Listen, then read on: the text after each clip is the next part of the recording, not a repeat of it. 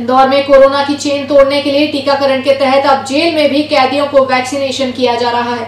शनिवार को इंदौर की सेंट्रल जेल में टीकाकरण की शुरुआत हुई। इस मौके पर इंदौर सांसद सहित जेल अधीक्षक भी मौजूद थे।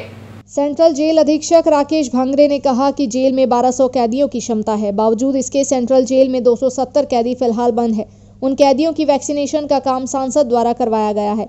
फ़िलहाल जेल के अंदर कोई भी कैदी कोरोना पॉजिटिव नहीं है, पर अब जेल में आने वाले नए कैदियों का पहले टेस्ट करवाया जा रहा है, जिसके बाद उन्हें रिपोर्ट आने तक क्वारंटाइन किया जाता है।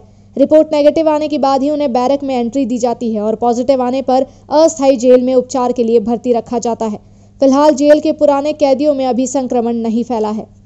क्या जब ये वैक्सीनेशन की बात आ रही थी तो जेल से बाहर अधिकांश जिन लोगों को वैक्सीनेशन की लग रहे थे वैक्सीन कार्रवाई हो रही थी तो वो आधार कार्ड के माध्यम से किया जा रहा था। लेकिन जेल में बहुत दिनों से बंदी प्ररुद्ध रहते हैं तो अधिकांश बंदियों के पास आधार कार्ड नहीं थे।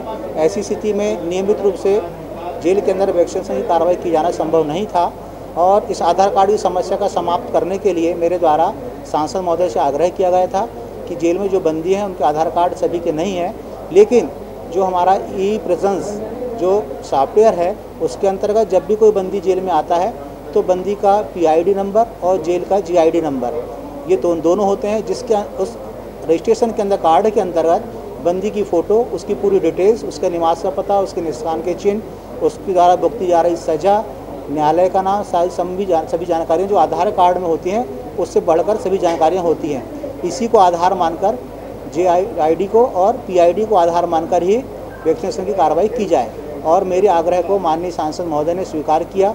और जिला प्रशासन से बात करके विद इन चौ ट्वेंटी फोर आवर्स में आज वैक्सीनेशन का शिविर आरंभ करवाया और आज स्वयं उपस्थित हुए और शिविर का शुभारंभ किया गया।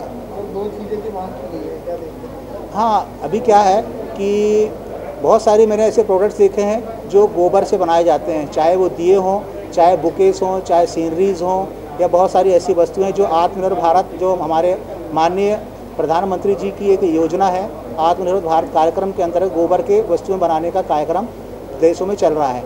और इसी कार्यक्रम के तहत मुझे लोक संस्कृति मंच से प्रोफेसर एकता मेहता जी से संपर्क मेरे द्वारा किया गया और उनके द्वारा कहा गया कि हम बंदियों को गोबर से बनने वाली वस्तुओं की सामग्री जो बनती है उसका प्रशिक्षण देना चाहते हैं। तो मेरे मन में बात आई कि क्यों ना मैं सांसद महोदय से ये बात का आग्रह करूँ कि हम गोबर का जो संकलन है वो उतना नहीं कर पाएँगे, इसलिए हमें जेल में गौशाला स्थापित हो जाए। जहाँ जेल में गौशाला स्थापित होगी तो वहीं बंदियों को अच्छे दूध उपलब्ध हो सकेगा, बीमार बंदियों को हम दूध उपलब्ध कर सकेंगे। साथ ही दूसरी ओर जो जेल के अंदर से हमारे वेस्ट पदार्थ निकलते हैं, चाहे वो बचा हुआ खाना हो, रोटी हो, सब्जियों के डंठल हो, या खाद्य सामग्री को चुनाई और बुनाई करने में निकलने वाला अपशिष्ट पदार्थ हो, वो गौशाला के काम आ सकेगा। वहीं हमारे बंदियों को एक प्रशिक्षण के तौर पे गौशाला का प्रशिक्षण प्राप्त हो सकेगा। इस उद्देश्य को ध्यान रखते हुए मैंने माननीय सांसद महोदय से आज गौशाला जेल में स्थापित करने का आग्रह सांसद निधि से या जन सहयोग से जैसा भी उपलब्ध हो सके स्थापित करने का आग्रह किया है।